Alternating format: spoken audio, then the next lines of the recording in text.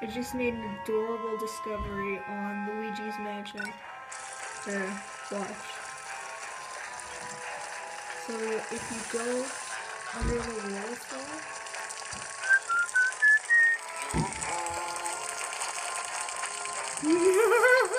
I love Luigi.